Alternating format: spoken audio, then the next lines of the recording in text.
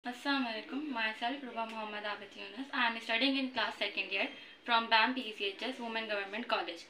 I am participated in handicraft which is organized by Awakenets.